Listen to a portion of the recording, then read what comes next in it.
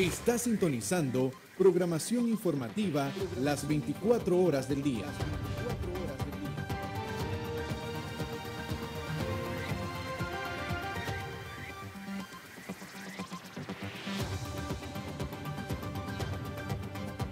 Somos CDNN, Canal 23, Canal 23.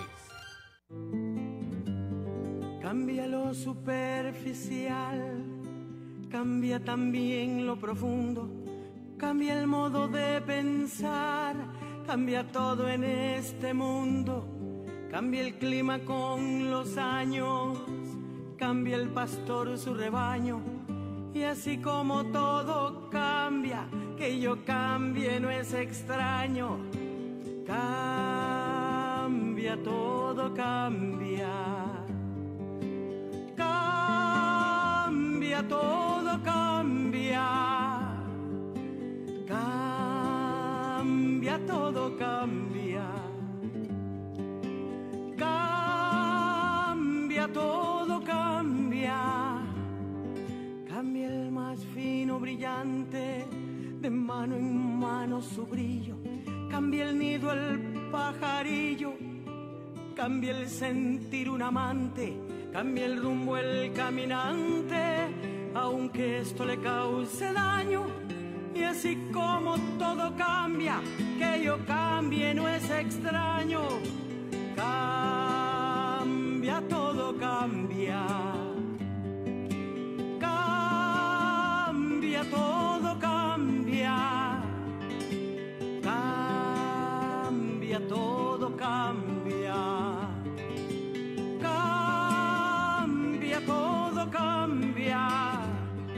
Cambia el sol en su carrera cuando la noche subsiste.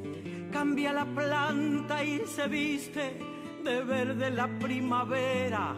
Cambia el pelaje la fiera, cambia el cabello el anciano. Y así como todo cambia, que yo cambie no es extraño, pero no cambia mi amor, por muy lejos que se encuentre, el recuerdo ni el dolor de mi pueblo y de mi gente. Y lo que cambió ayer tendrá que cambiar mañana, así como cambio yo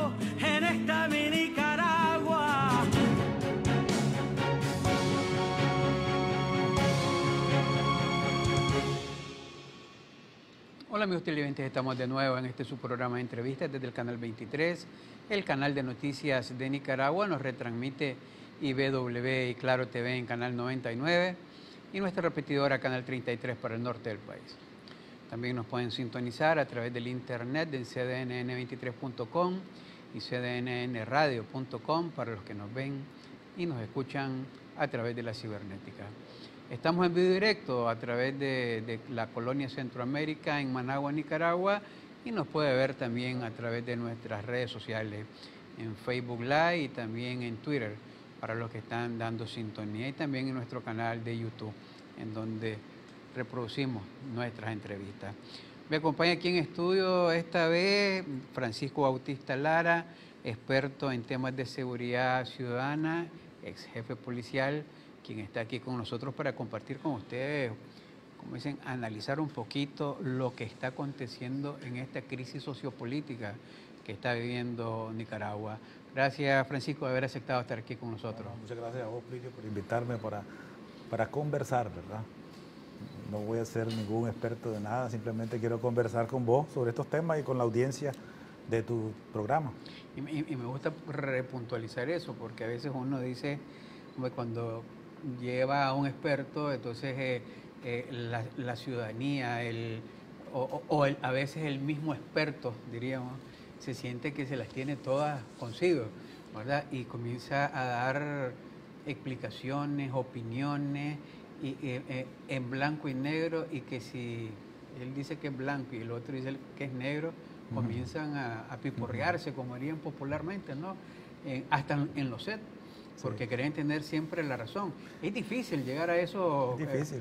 Eh, eh, a esos balances de, de, conocimiento. Lo que pasa es que, vos sabes, el, el fenómeno que estamos viviendo, Plinio, eh, el complejo fenómeno, yo diría, lo calificaría como complejo eh, no pronosticable en cuanto a la ocurrencia y no pronosticable en cuanto a su eh, desenvolvimiento futuro, eh, es complejo, ¿verdad? Y, y, como decía un jesuita de la universidad en Colombia, Javeriana en Colombia, los fenómenos contemporáneos requieren abordajes multidisciplinarios. No es cierto que un especialista de un ámbito del conocimiento humano sea capaz de interpretarlo. Es decir, la complejidad del fenómeno que estamos viviendo en Nicaragua que, nos sorprendió como, como un cisne negro, es decir, un suceso inesperado, imposible de pronosticar estadísticamente, eh, requiere análisis mucho más complejos. Por lo tanto, yo eh, insisto que lo que podemos hacer es conversar e intercambiar puntos de vista, impresiones desde un ámbito del conocimiento, desde un ámbito de la experiencia, con la experiencia tuya y quizás la audiencia eh, podrá complementar sus propias experiencias. Ahora, hay un tema que nosotros lo, queríamos eh, contextualizar de esa manera. El estado actual, decíamos nosotros, de la seguridad ciudadana. Y decimos actual porque eh, para algunos analistas, para algunos sociólogos, para algunos que le han dado seguimiento muy puntual y llegó a categorizarse para temas de estudio como seguridad ciudadana. Eh, la actual seguridad ciudadana se rompió, eh, se rompió hace más de 100 días a, partir de sucesos de protesta política que conllevaron a, temas de violencia. Pero otros, a la hora de hacer también ese análisis, análisis dicen, no, el tema de la seguridad ciudadana era aparente, era, era algo utópico, era una forma de analizarlo de alguna manera eh, para darle, como dicen, convivencia a la gente, pero para eh, Francisco Bautista, Mira, eh, ¿cómo lo ve? El indicador más objetivo, aceptado por Naciones Unidas, por expertos internacionales, etcétera, para medir la seguridad ciudadana de manera simplificada es la tasa de homicidios. La tasa de homicidios en Nicaragua en el 2017 cerró en 7 por 100 mil habitantes, la más baja de Centroamérica. Y esa tasa de 7 por 100 mil habitantes había sido casi 14 por 100 mil habitantes en el 2007-2008. Es decir, en 10 años esa tasa pasó a la mitad. Incluso cuando ya era de 14 por 100 mil habitantes, era en relación a Centroamérica la segunda más baja después de Costa Rica. Porque Costa Rica en aquel entonces llevaba una tasa de 11 por 100 mil habitantes, Nicaragua 14, y el resto de Centroamérica, incluido Panamá, tasas superiores. Por lo tanto, los indicadores eran muy claros eh, que Nicaragua tenía, desde ese punto de vista, en el delito más grave que podríamos considerar, una tasa muy favorable. De tal forma que en el 2017 se cierra no solamente con la menor tasa de homicidios eh, de los últimos 10 años, sino con la, la menor cantidad de homicidios en términos absolutos de los últimos 10 años. Una cifra que apenas se acercó a 400 homicidios durante el año 2017. Eso es extraordinariamente positivo. Ningún organismo internacional eh, desconoció esa información porque es una información aceptable, digamos, validada oficial y extraoficialmente. Es el principal indicador. De tal forma que la seguridad ciudadana en, en general, en el 2017, entendida como el riesgo de ser víctima de un delito cualquiera. Porque alguien puede decir, ah, pero es que yo tenía inseguridad jurídica, es que yo tenía inseguridad política. Bueno, esa es otra discusión que no voy a tratar yo de resolver hoy. Pero la seguridad ciudadana, entendida como el riesgo de ser víctima de un delito cualquiera, esa seguridad ciudadana en Nicaragua en el 2017 concluyó con la mejor cifra, con los mejores resultados de Centroamérica. Ahora, ¿qué va a pasar en el 2018? Y viendo en perspectiva el 18 hubo un impacto de muerte lamentable, trágica, ocurrida por un fenómeno de violencia, eh, digamos, contundente, preocupante en la región, en, Nicaragua, en distintos espacios territoriales. La cantidad de homicidios que ocurrirán en este año 2017, según las tendencias del, 17, las que ocurrirán en el 18, eh, vamos a llegar, lamentablemente, a una tasa cercana de la que teníamos hace 10 años. Es decir, Nicaragua, si la situación está, no se agrava más, se mantiene, como parece ser, si se logra retomar los cauces eh, del diálogo, de la conversación, de la discusión política eh, en busca de la estabilidad del país.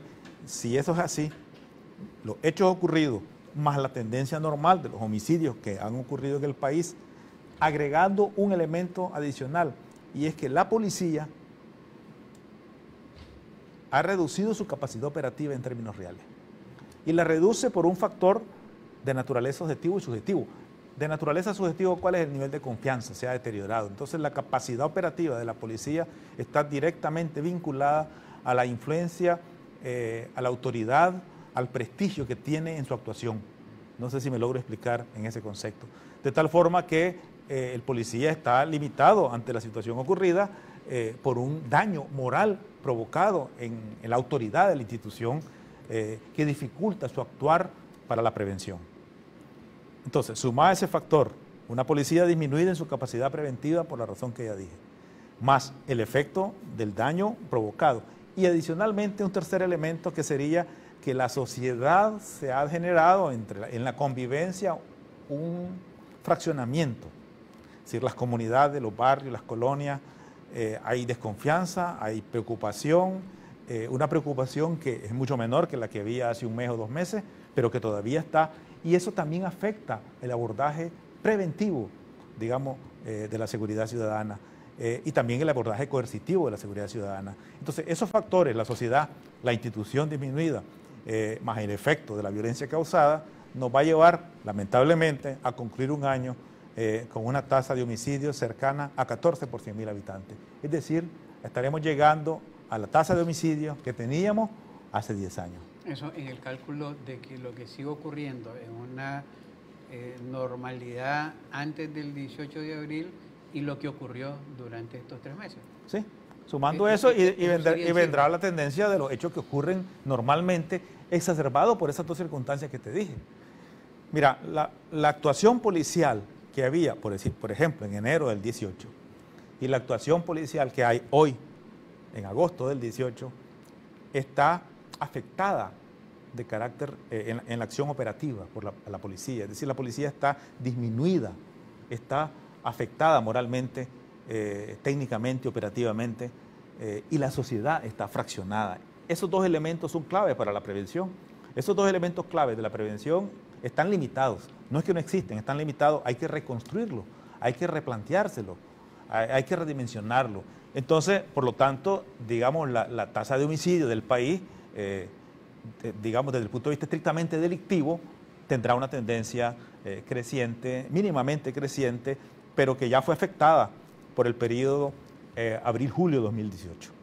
Ahora vamos a hacer rápidamente una pausa y cuando regresemos, el tema del análisis de ese órgano policial desde el punto de vista de su capacidad operativa y preventiva eh, y, pensando en que la protesta eh, va a ser cívica, de que los que propician y quisieran cambios políticos va a ser de manera ordenada y que no se disparen otros actos de violencia y o, como lo tipificó el gobierno, incluso con una ley que sean actos de carácter terrorista, en donde ya se sobrepasa el tema. ¿Cómo, cómo ver a esta policía en, su capacidad operativa en los próximos días? Porque hay algunos que, incluso algunos, y hay una contradicción ahí, algunos ex policías que quisieran desaparecer el mismo órgano policial que lo fundaron, mientras hay otros que dicen, no, esto lo que requiere es única y exclusivamente de condiciones propicias para que este órgano siga siendo garantía de esa seguridad ciudadana. Vamos a los mensajes y regresamos para desmenuzar eso con don Francisco Bautista Lara. Adelante.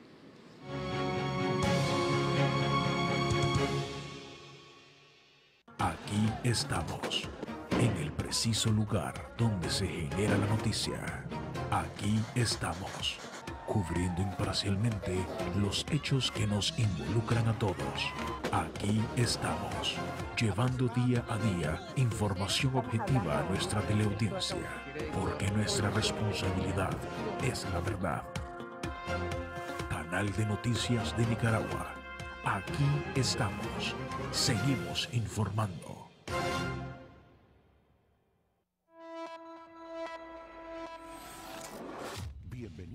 Movistar Series.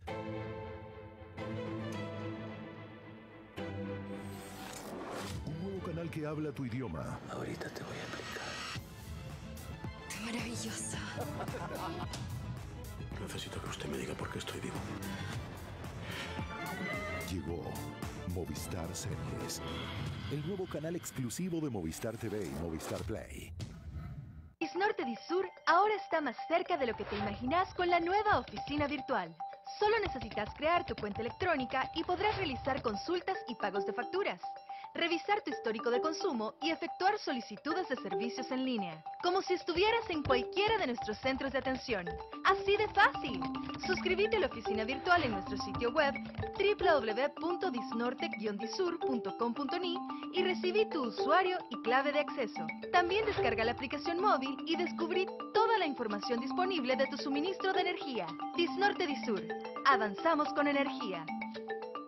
Está sintonizando programación informativa las 24 horas del día.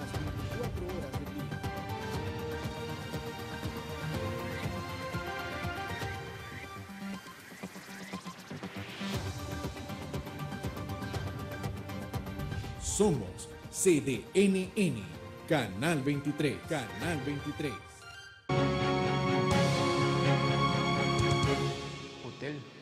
Continuamente su programa de entrevista conversando con Francisco Bautista Lara en su calidad de temas, experto en temas de seguridad. No le gusta a él que le digan experto porque después todo, es como aquellos que dicen que son analistas. Dice, todo el mundo es analista. Dice, pues, y, y hace análisis como, como sea. Pero sí, pues, de manera especializada, conoce sobre los temas estos de seguridad. Para los que no lo conocen y están en vivo preguntándonos sobre él, temas de que ahora que estamos en las redes se ha detectado, don Francisco, que hay un montón de personajes, personas que creían que eran más conocidas que la Coca-Cola y que, y que ahora preguntan, ¿y ¿quién es ese? ¿Verdad?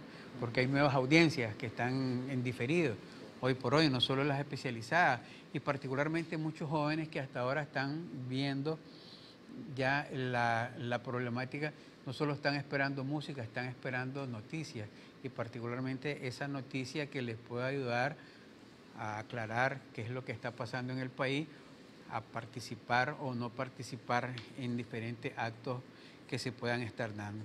Yo le decía, eh, la, le hacía la pregunta sobre cómo ver el órgano policial y, y, las comparaciones de los órganos policiales en relación a otros fenómenos políticos que se han dado en la región, porque el, la policía nacional ha sido un fenómeno muy especial en los últimos 40 años, diríamos, pues 39, ¿verdad? Una creación de una policía pos un, una, un derrocamiento de una dictadura, de una revolución, ¿verdad? Que rompe con todo y crea un órgano policial nuevo, se sostiene en medio de cambios políticos trascendentales y que llega hoy al momento en el cual dice... Eh, volvió la policía a jugar un papel importante. He escuchado con, y, y, con mucho pesar a exfundadores de la policía que vienen y te dicen, no, es que la policía le vienen de desaparecer. Por suerte están afuera, porque si estuvieran adentro, como dicen, estarían, eh, no sé qué estarían pensando, ¿verdad? Pero, pero sí lo dicen. Entonces uno que tiene y apostaba a esta policía como un órgano de garantía de esa seguridad ciudadana, ¿verdad? Eh, en esta campaña entre lo bueno y lo malo que ha hecho, ¿verdad? Eh, en su actuación, el haber perdido esa capacidad operativa preventiva, particularmente, y tener que aparecer eh, más bien a, diríamos, a socavar los, los actos que se estaban dando, entonces uno la ve, como dicen, con temor en algunos casos. Un día esto estaba aquí y me decía Néstor Avendaño, te voy a preguntar, me decía, ahora que estoy de entrevistado, pero déjame preguntarte, me decía, eh, ¿vos le tenés confianza hoy al policía que está ahí? Entonces eh, le digo yo, bueno, si de pronto me aparece en una calle, pues, eh, que donde no hay un operativo policial, cualquiera puedo creer de que es un policía y que está uniformado. Y eso siempre fue a, lo largo de la historia, que uno podía y encontraba que aquellos que se uniformaban de policía eran bandas delincuenciales eh, y se daban de diferentes situaciones. Pero hoy por hoy, en este contexto, ¿verdad? Eh, la policía sí está teniendo un problema en cuanto a la imagen. Se ha tratado de mejorar, se ha tratado de que se dé un enfoque distinto, pero en mayoría, diría, hay personas que están cuestionándola. Su opinión alrededor de esto. Primero quiero decirte que el fenómeno que acaba de ocurrir entre abril y julio eh, en Nicaragua es- no es un fenómeno de naturaleza estrictamente policial. Sería erróneo pensar que el abordaje del fenómeno era policial. El fenómeno era un fenómeno, un complejo fenómeno social, político, que también tuvo connotaciones delictivas.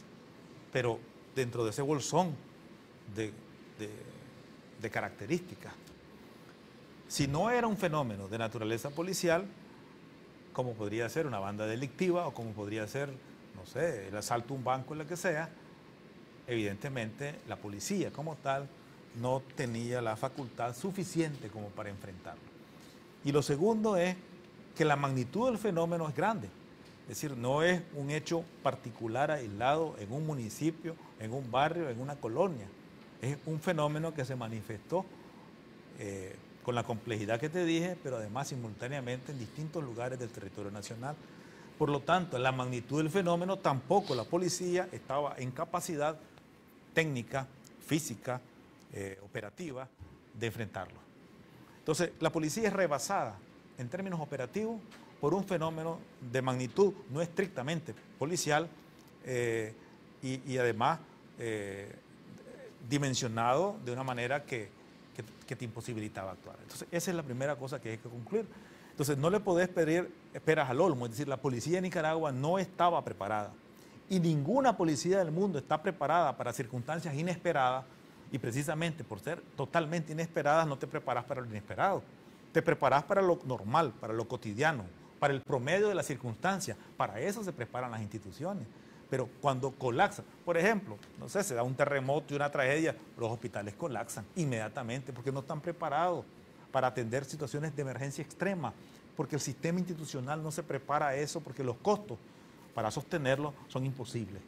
Entonces la policía de Nicaragua está preparada para enfrentar un fenómeno delictivo común y además lo estaba enfrentando muy bien, estaba manejando los niveles de prevención muy bien, la tasa de homicidio, ya dije antes que se manejaba de manera muy buena, el nivel de denuncia, el nivel de confianza, todo se manejaba en indicadores totalmente aceptables, como los indicadores económicos, que es imposible eh, no aceptarlos, digamos, el Banco Mundial, el Fondo Monetario, todo eso decía, economía con mayor crecimiento de Centroamérica, estabilidad macroeconómica, estabilidad monetaria, finanzas sanas, reserva internacional buena, inversión eh, extranjera muy buena. Es decir, ¿quién puede cuestionar esos indicadores económicos? Nadie.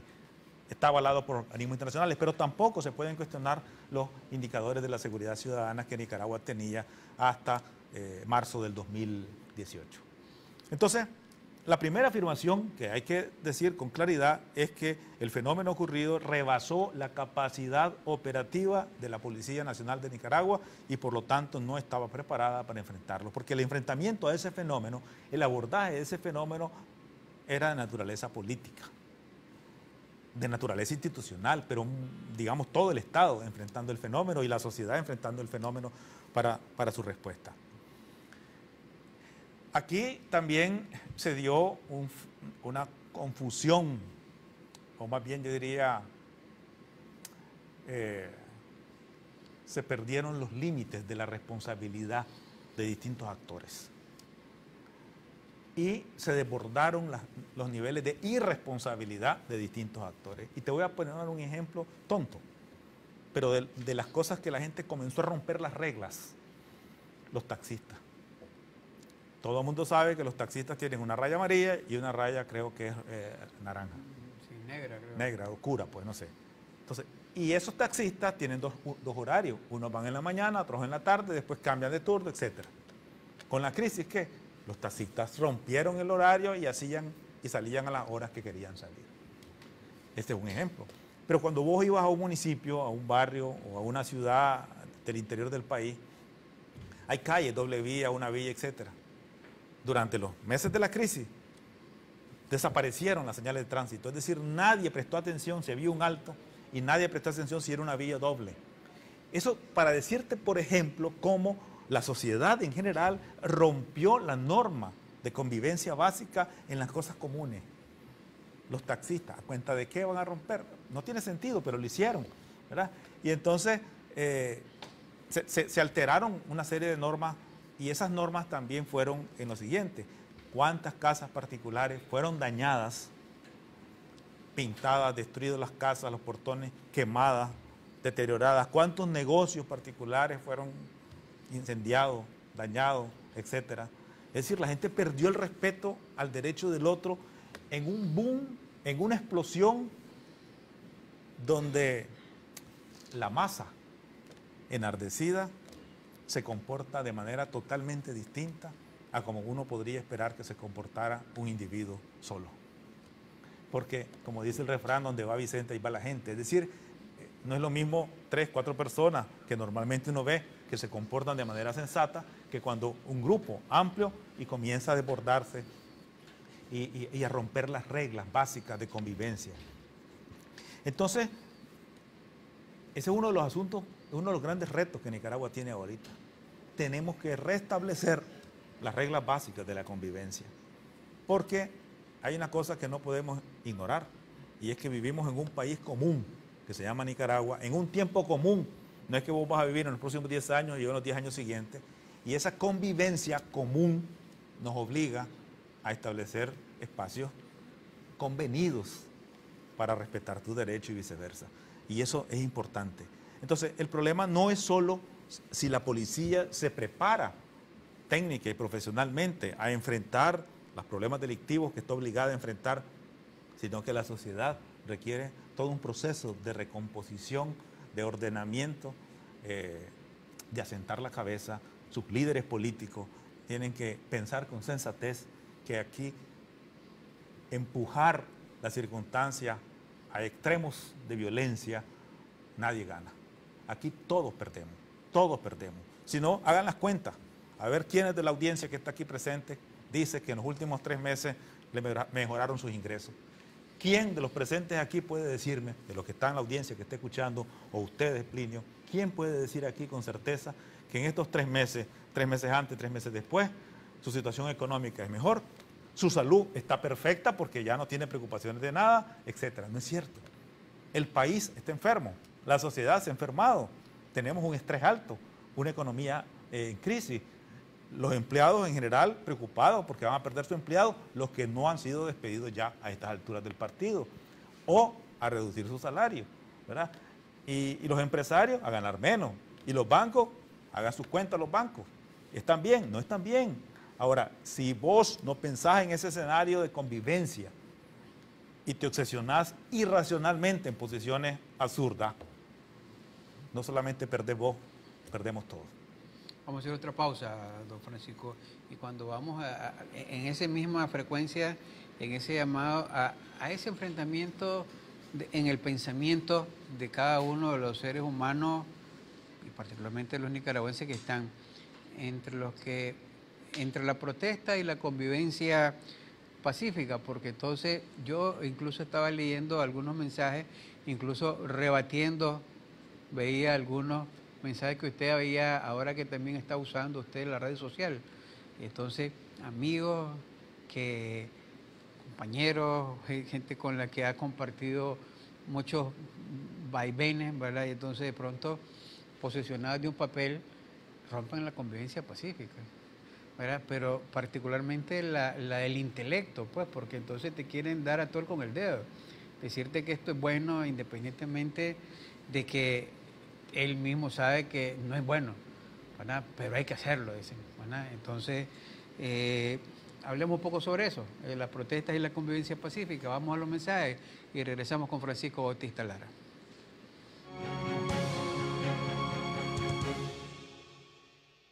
Aquí estamos, en el preciso lugar donde se genera la noticia. Aquí estamos cubriendo imparcialmente los hechos que nos involucran a todos.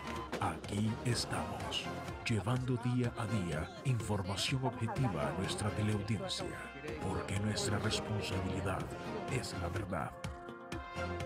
Canal de Noticias de Nicaragua. Aquí estamos. Seguimos informando. En Banco Lafice Bancentro desarrollamos soluciones financieras para quienes trabajan día a día, aportando al crecimiento de Nicaragua. Ofrecemos créditos agropecuarios para impulsar la producción, una amplia y moderna red de cajeros automáticos para realizar retiros o depósitos en efectivo, alianzas con remesadoras a nivel mundial y una red de sucursales a nivel nacional para retirar sus envíos de dinero y una herramienta para planificar el ahorro con el plan Ahorro Programado. Soluciones financieras ideales para impulsar el desarrollo. Banco Lafice Bancentro, excelencia financiera a nivel mundial. Hola mamá. Hola amor. ¿Ya compraste todo? Cebolla, tomate, le dejas caer todo en la masa y le echas sal. Eso, eso, la sal. Mezclalo bien. Casi tan rico como el suyo. Adiós amor, besitos a todos. Activa llamadas ilimitadas por un día a un número de Claro en Costa Rica. Envía 1CR al 1000. Claro que sí. Para amar una carrera tienes que exigirte una y otra vez. Universidad Central de Nicaragua. Con los mejores estándares en la educación, herramientas modernas y de última generación para el aprendizaje adecuado y oportuno. UCN. Formando profesionales con visión humana y participación activa en la sociedad.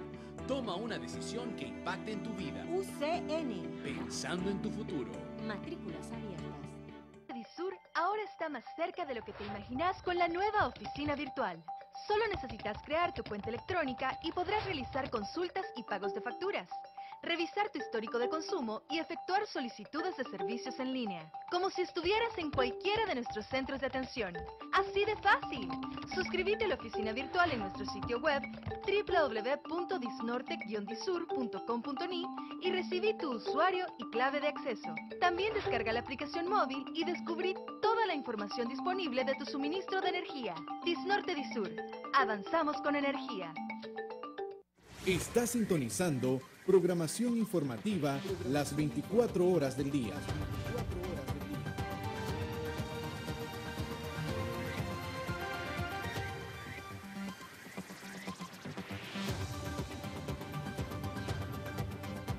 Somos CDNN, Canal 23, Canal 23.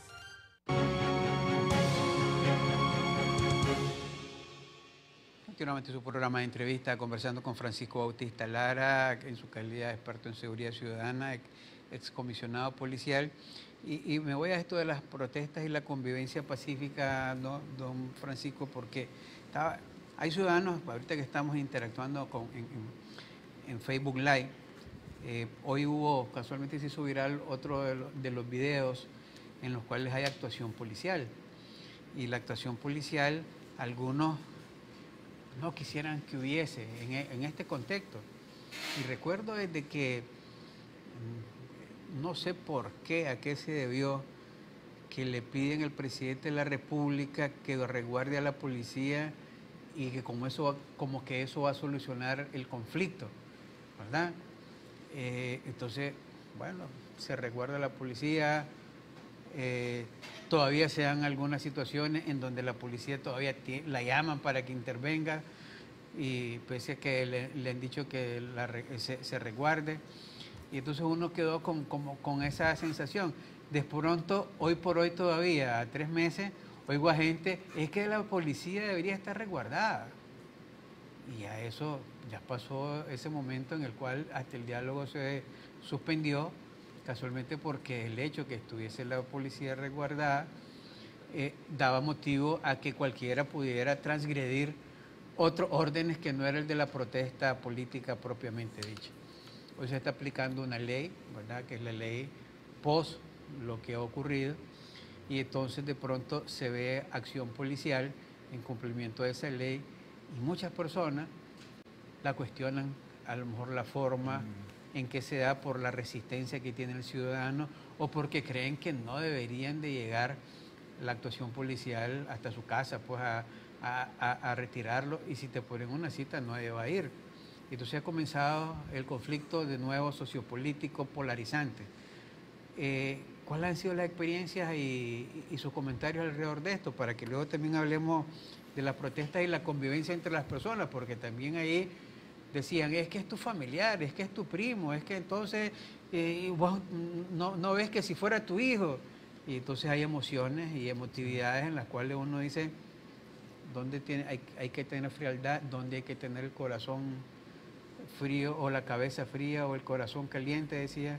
¿Y en qué momento eh, hay razón y justicia en todas estas cosas? La policía tiene dos grandes funciones. La función preventiva, que es amigable, que es bonita, a todo el mundo le gusta, donde el policía te da la mano, el policía de la comunidad, el servicio comunitario en general. Es decir, una policía preventiva es el rol que todo mundo desea de un cuerpo policial. Pero también hay un rol que es necesario para la sociedad y es la función coercitiva o represiva de la policía. A veces usar la palabra represiva la gente se asusta, pero así se llama, es la acción coercitiva o represiva. Detener a una persona es una acción coercitiva. Multar a un ciudadano que viola la ley de tránsito es una acción coercitiva. Ah, cuando, cuando el policía te detiene y te da un discursito bonito y te... Bueno, es una acción preventiva. Pero cuando te pone la multa y vos llorás y vos protestás y lo que sea, es una acción coercitiva. Cuando detiene a una persona es una acción coercitiva. Es decir, cuando el, el acto implica el uso de la fuerza policial legítima, es una acción coercitiva. Entonces, vamos a, dividir, voy a dividir, eh, veamos el escenario en, tres, en cuatro etapas. Primer trimestre del año, enero, febrero, marzo, prevalecía en la policía la actuación preventiva. Es decir, no habían hechos graves ni relevantes donde la acción policial fuera visible. Era normal, la acción policial era normal y por lo tanto, eh, fundamentalmente, una, una actuación policial amigable de naturaleza preventiva. En abril, mayo, para, concretamente en abril, la policía es sorprendida por un hecho inesperado y es rebasada. Y la actuación de la policía, desde mi opinión, es errática. No es una actuación planificada, no es una actuación ordenada, hay mucha espontaneidad, hay, mucha, eh, hay, mucho error, diríamos, en la actuación policial de esas primeras semanas del conflicto. Eh, y esa actuación, bueno, fue rebasada por la protesta, eh, por el conflicto. Prácticamente ahí la policía pierde capacidad de, de desempeñar sus funciones cotidianas. Después viene, ahí en ese contexto es lo que ocurre en el diálogo que el gobierno decide eh, dejar en sus cuarteles a la Policía Nacional, lo cual yo también estuviera, hubiera estado de acuerdo en el principio mismo de los hechos, porque en el principio mismo de los hechos no había dimensionado qué estaba pasando y tenías que dimensionar para organizar tu propia actuación policial, incluso la actuación política e institucional frente a un fenómeno tan complejo que estaba ocurriendo y que todavía no eh, valoraba en en qué connotación tenía y qué alcance tenía. Entonces, me parece que la prudencia era el mejor consejo de los primeros momentos. Pero después, en el marco del diálogo, el gobierno decide, bueno, está bien, repliega la fuerza policial. Y viene una tercera etapa. Esa tercera etapa de estos meses es una etapa de la ausencia absoluta de la policía en el servicio público. La policía se queda, entonces no hay denuncia, no hay investigación de accidentes, eh, no hay trámites de diversos tipos. Eh, digamos, ocurre un delito, la policía no llega a la inspección, digamos, al, lugar del hecho. Eh, y, digamos, los distintos actores de la protesta, combinado con fuerzas delictivas y con un alboroto de circunstancias, fortalecen los tranques y las ciudades, las ciudades, varias ciudades, quedan totalmente trancadas. Prácticamente ahí, ¿cuál es la actuación policial? es casi cero la actuación policial. La policía se repliega, se concentra, es atacada en distintas unidades policiales, etc. Después viene una cuarta etapa, eh, la policía desmonta los tranques. Yo pregunto, ¿qué correspondía hacer en un estado? Los tranques habían inmovilizado importantes zonas del territorio nacional. Miles de ciudadanos estábamos prensados donde estábamos y no podíamos movilizarnos para cumplir nuestras labores normales, familiares, personales, económicas, laborales, de cualquier tipo. Totalmente cerrado. Y la policía en sus unidades, sin hacer absolutamente nada. Y los tranques controlados por una fuerza irregular ilícita. ¿Qué hacer? Yo pregunto, ¿a quién le compete resolver ese problema? ¿Qué? ¿Vamos a recurrir al Vaticano que nos venga a resolver ese problema? ¿Vamos a recurrir a, San José de Costa Rica que nos resuelva ese problema? ¿Vamos a recurrir a quién? ¿Sabes a quién le compete? Por ley, por obligación ineludible, al Estado de Nicaragua. El Estado de Nicaragua, a través de sus instrumentos institucionales, está obligado a restablecer el mínimo de orden para que los ciudadanos puedan desempeñarse. Ahora, esa acción es coercitiva, sí es coercitiva. Y no nos gusta la coerción, sí no nos gusta. Porque no le gusta al que está delinquiendo, pero lamentablemente alguien la tiene que cumplir. Y la cumplió. Y ahí vino esa etapa, bueno, que, que fue desmontar tranques, etcétera. Y ahorita estamos en una cuarta etapa, digamos, en ese panorama, en ese, en ese escenario que trato de ilustrar, donde la policía retoma el desempeño cotidiano de sus funciones, sin perder de vista que la normalidad total no existe todavía, pero que por lo menos hoy, evidentemente, hay reguladores del tránsito en las calles, se puede poner denuncia, las unidades de policía están abiertas, están atendiendo al público, hay patrullas en la calle, es decir, la policía debe cumplir las funciones que le compete hacer. Si a mí me roban, puedo poner denuncia y alguien me tiene que resolver eso. Mientras tanto, el escenario político tiene que discutir la solución política correspondiente al caso. Pero aquí viene otro asunto que también genera polémica en la opinión pública en algunos sectores. Durante esas dos etapas previas, me refiero cuando la policía, cuando explota el conflicto, cuando la policía se acuartela, cuando se montan los tranques, en ese periodo de tiempo de 30, 40, 50, 60 días, no sé cuánto, ocurre todo. Robos, homicidios, secuestros, azonada, incendios de casa, etcétera, etcétera, daños materiales, instalaciones, etcétera. Ocurre todo eso. ¿Quién provoca eso? El que provoca eso asume responsabilidad penal. Alguien dice, no, pero es que la policía lo hizo, lo hizo. Bueno, lo haga quien lo haga, alguien tiene que investigar y alguien tiene que demostrar que los autores fueron X, Y y Z. Porque no se trata aquí de decir, no, aquí hay una taza y esa taza es de Juan. No, ¿por quién dice que es de Juan? Hay que demostrar la evidencia. Y la investigación policial, el método científico, obliga a identificar responsabilidades concretas.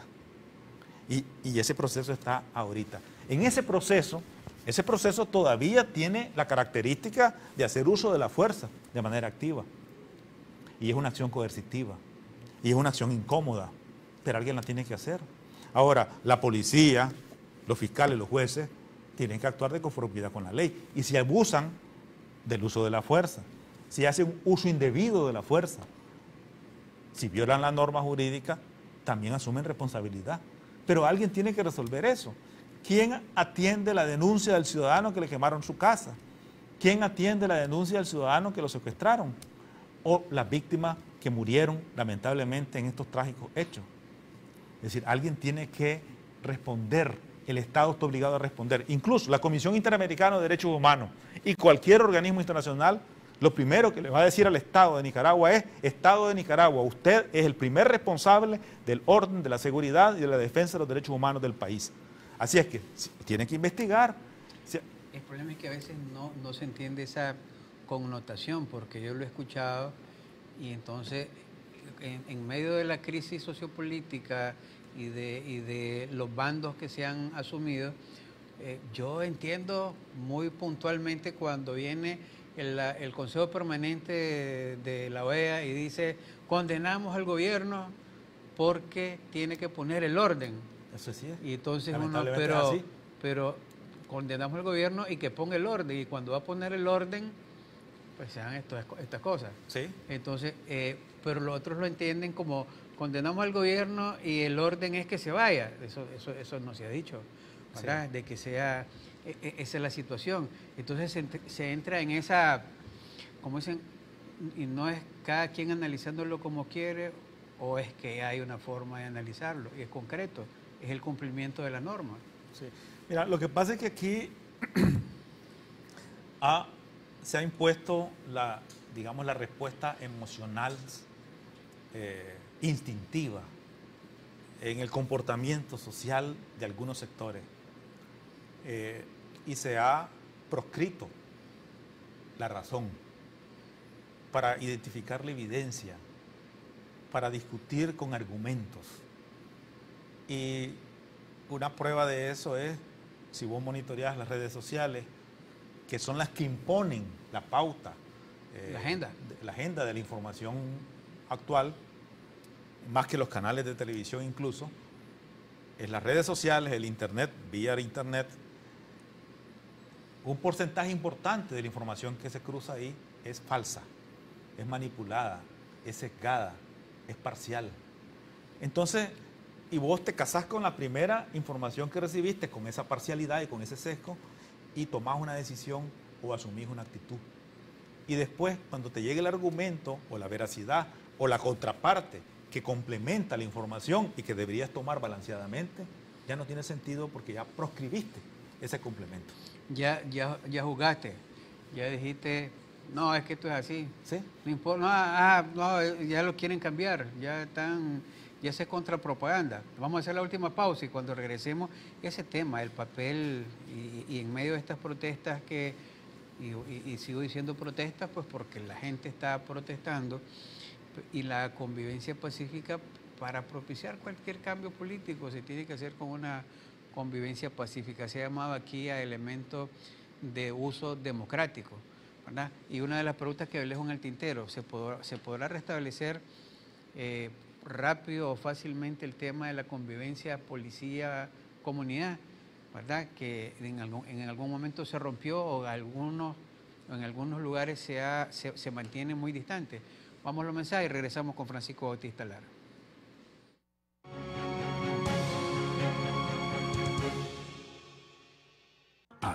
Estamos, en el preciso lugar donde se genera la noticia. Aquí estamos, cubriendo imparcialmente los hechos que nos involucran a todos. Aquí estamos, llevando día a día información objetiva a nuestra teleaudiencia, porque nuestra responsabilidad es la verdad. Canal de Noticias de Nicaragua. Aquí estamos. Seguimos informando. Universidad Humanista te invita a ser parte del futuro de nuestro país. Ofrece las carreras de Administración de Empresa, Contabilidad y Finanzas, Derecho, Farmacia, Ingeniería en Sistema, Técnico en Diseño y Producción de Moda. La Universidad Humanista está ubicada en Jinotepe, frente al Parque Universitario, en Managua, del Comisariato Policial Plaza El Sol, cinco cuadras al norte. Y ahora, estamos en Rivas. Pregunte por nuestro programa de becas. Nosotros tratamos de mantener aranceles populares, pero con calidad académica. Somos el presente del futuro. Ticavisión, el canal joven de Costa Rica, uniendo fronteras. Ticavisión, con programación para todos. Producciones nicaragüenses y costarricenses, series retros, películas, programas infantiles, deportes, noticias y mucho más. Ticavisión, de Costa Rica para Nicaragua. Solicítalo al cable operador de tu preferencia. Disnorte Disur ahora está más cerca de lo que te imaginas con la nueva oficina virtual. Solo necesitas crear tu cuenta electrónica y podrás realizar consultas y pagos de facturas, revisar tu histórico de consumo y efectuar solicitudes de servicios en línea, como si estuvieras en cualquiera de nuestros centros de atención. Así de fácil. Suscríbete a la oficina virtual en nuestro sitio web www.disnorte-disur.com.ni y recibí tu usuario y clave de acceso. También descarga la aplicación móvil y descubrí toda la información disponible de tu suministro de energía. Disnorte Disur. Avanzamos con energía. Está sintonizando Programación informativa las 24 horas del día.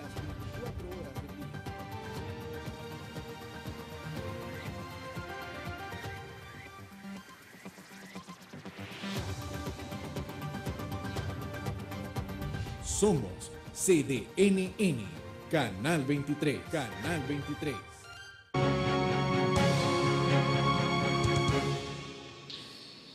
Ya estamos en esta parte final de su programa de entrevista conversando con Francisco Bautista Lara de estos temas que cuando uno quiere ya opinarlos, comentarlos, crean sesgos, ¿verdad? O hay sesgo en algunos, o lo caracterizan con sesgo y, y comienzan a calificarlo.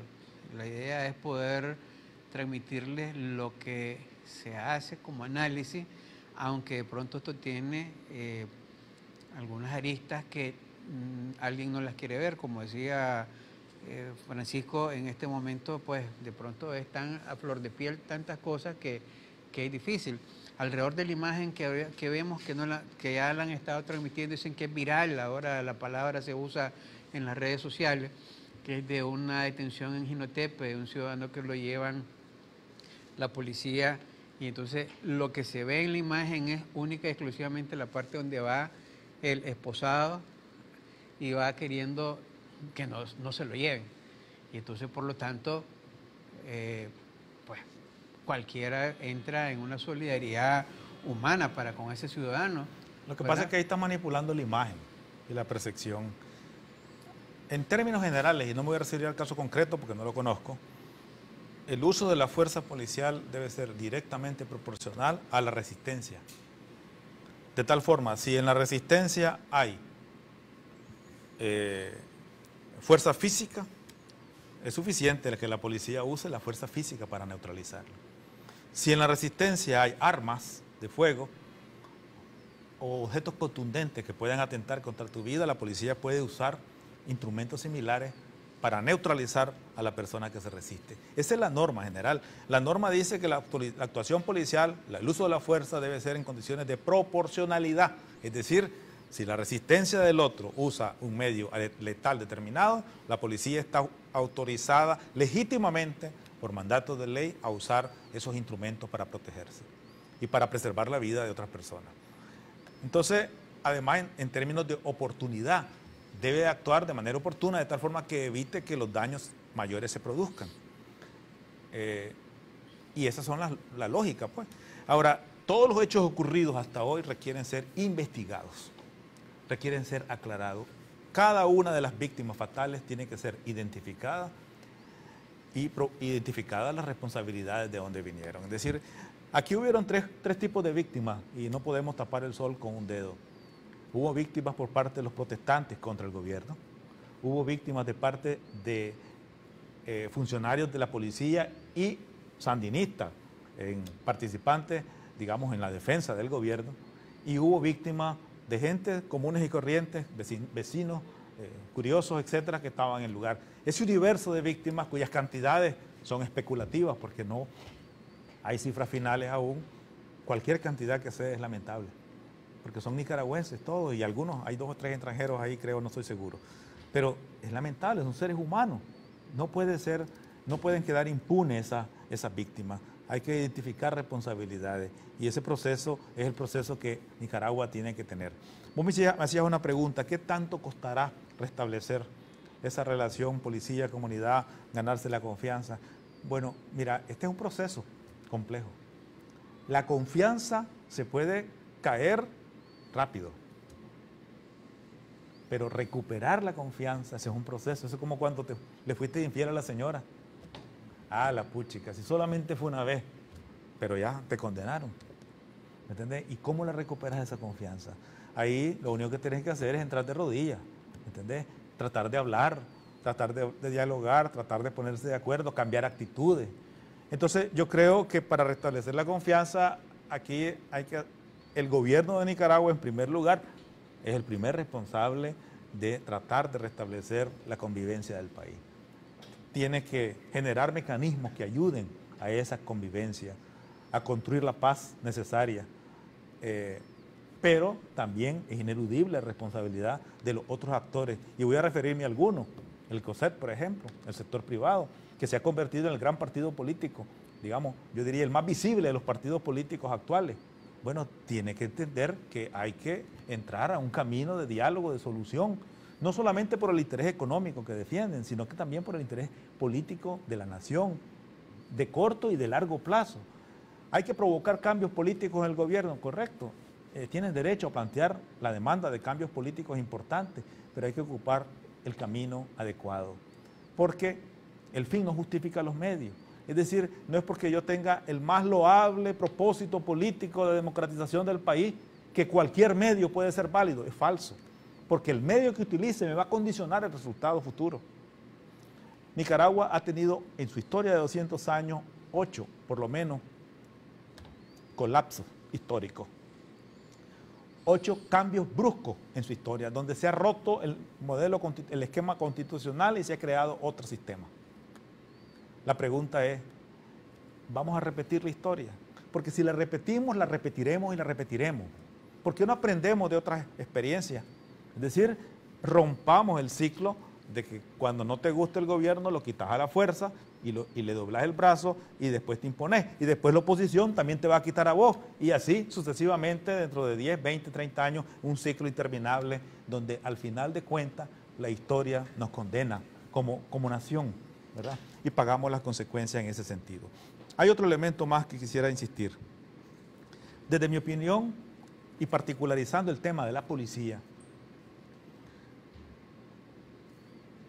Pasada estas etapas críticas y en esta nueva etapa donde la policía está obligada a iniciar un proceso de normalización de sus funciones, de sus competencias y la identificación de responsabilidades de los daños causados por, delitos X, en espera de una solución política al problema que no compete a la policía, esa solución, la policía está obligada, creo yo, a pensar en ajustes organizativos y en replanteamientos metodológicos sin lugar a duda, aquí ha habido una etapa de un eh, traumática que te obliga a aprender.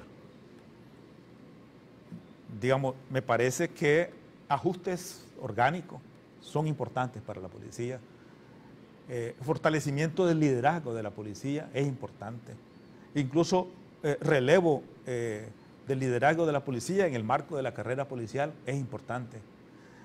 replanteamiento, digamos, normativo de algunas áreas de trabajo de la policía son importantes. Es decir, aquí hay un fenómeno que ha ocurrido que te obliga a aprender. Todos tenemos que aprender, particularmente la policía tiene que aprender, porque es lo que el tema que me estoy refiriendo, pero todos los otros actores tienen que aprender. Incluso yo te diría una cosa, la Conferencia Episcopal de Nicaragua tiene que aprender y tiene que revisar qué cosas realmente funcionan bien y qué cosas no. Y el COSEP tiene que aprender. Ahora, ¿aprenderán o no aprenderán? No lo sé. Pero yo creo que aquí los medios de comunicación tienen que aprender y tienen que revisar. Las empresas tienen que redimensionar sus estrategias, sus condiciones de trabajo, etcétera. Es decir, porque en las crisis se ponen en evidencia las debilidades. En las crisis se ponen en evidencia los defectos. Cuando las cosas están tranquilas, no pasa nada. Pero cuando la crisis te golpea, vos te das cuenta que el muñeco que tenía, el edificio que tenía, habían algunas cosas que no funcionaban tan bien y que vos creías que funcionaban bien. Pero cuando el temblor te comenzó a sacudir, te diste cuenta que no aguantó mucho y se tranqueó en algunas cosas. Y que decía que ibas a agarrar para la derecha y agarraste para la izquierda. ¿Sí? Y que dijiste que ibas a agarrar para el frente y te, y te quebraste la pata. O sea, son cosas que las adversidades nunca, nunca, a ver, son buenas para poder aprender más. Pero lo que se va a hacer en ese momento, nadie lo puede, como decía usted, eh, tener ya por adelantado, definido. Una norma, pues ahí uno dice, voy a hacer tal cosa, pero después salió en carrera, Rúrico, cuando sonó la primera bala. Sí. Y entonces... Eh, eso aquí, estamos ante la experiencia que la sociedad y el país tienen que aprender, ¿verdad? Eh, yo confío. Y un espacio apropiado para aprender es un, es un espacio de diálogo donde todos los actores eh, podamos aprender y hacer los ajustes de cara al futuro, al presente y al futuro de la nación. Y aquí no se trata de, de decir que no ha pasado nada, aquí se trata de reconocer la gravedad de lo que ha pasado, pero no ahogarnos ahí, porque nos podíamos quedar empantanados en la crisis. Es como cuando tenés un duelo, hombre. Es decir, el duelo hay que vivirlo, hay que sufrirlo, pero no te puedes quedar en el duelo porque ese duelo te va a estancar para toda la vida y la vida hay que verla en perspectiva, digamos, hay que ah, reconocer la responsabilidad de lo ocurrido, hay que, eh, digamos, asumir responsabilidades de los distintos actores ante lo ocurrido, pero hay que buscar soluciones sensatas y responsables de los distintos actores particularmente del gobierno, pero de todos los actores, incluso de la oposición. Yo pregunto, ¿es legítima la demanda? Pero fue legítimo el método. Y esa es la pregunta. Alguien dice, cualquier método es bueno. No es bueno cualquier método, y ahí no coincido.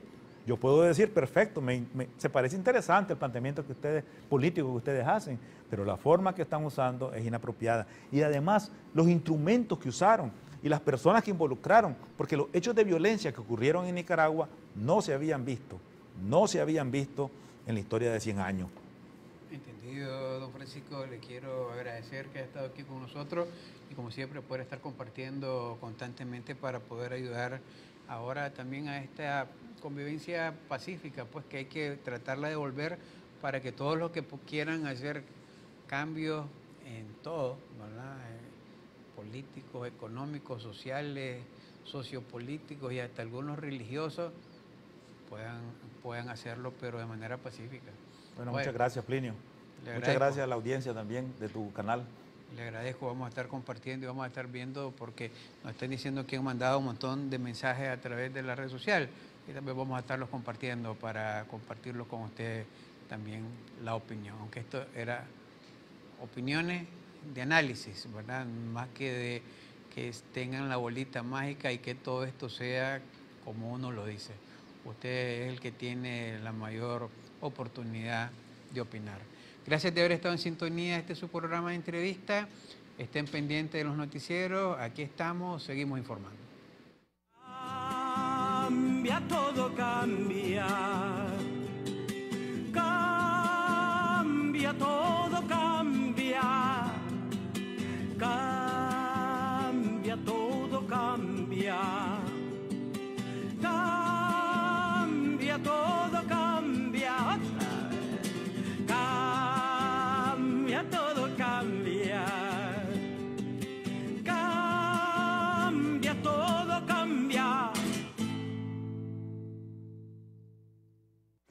Está sintonizando programación informativa las 24 horas del día.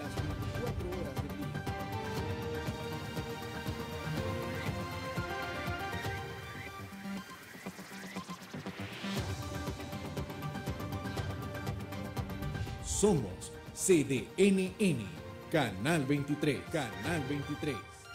Aquí estamos, en el preciso lugar donde se genera la noticia. Aquí estamos, cubriendo imparcialmente los hechos que nos involucran a todos. Aquí estamos, llevando día a día información objetiva a nuestra teleaudiencia, porque nuestra responsabilidad es la verdad. Canal de Noticias de Nicaragua.